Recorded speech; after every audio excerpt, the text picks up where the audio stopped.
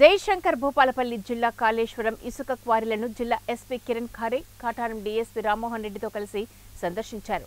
ఇసుక అక్రమ రవాణాపై విమర్శలు రావడంతో క్వారీలకు వెళ్ళారు. ఎస్పీ కాళేశ్వరం ప్రాంతంలోని పలుగుల అన్నారం క్వారీలను తనిఖీ చేశారు. ఇసుక లోడింగ్ ఇసుక క్రయ విక్రయాలకు సంబంధించిన పత్రాలు సిబ్బంది వివరాలు సీసీ కెమెరాల పనితీరు అడిగి తెలుసుకున్నారు. ఇసుక అక్రమ రవాణా ఓవర్లోడ్తో తరలిస్తే కఠిన చర్యలు తీసుకుంటామని కాంట్రాక్టర్లను హెచ్చరించారు. టీఎస్ఎండిసి ఎంప్లాయీస్కి చెప్పడం జరిగింది. ఏదైనా ఉంటే ప్రాపర్గా లీగల్గా చేయాలి చేయాలి.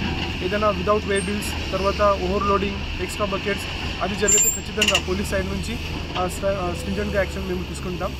తర్వాత పోలీస్ సైడ్ నుంచి కూడా ఏదైనా చెక్ పోస్ట్ ఉన్నాయి లైక్ గంగారాం చెక్ పోస్ట్ ఉన్నాయి తర్వాత వేడియం దగ్గర ఏదైనా చెక్ పోస్ట్ ఉన్నాయి అది ప్రాపర్గా మేము ఇంకా స్ట్రెంథన్ చేసి అక్కడ పోలీస్ కానిస్టేబుల్ పోలీస్ పోస్ట్ కూడా మేము పెడుతున్నాము సో మీకు కూడా ఏదైనా ప్రజలకి ఏదైనా इलिगल सँड मायनिंग करून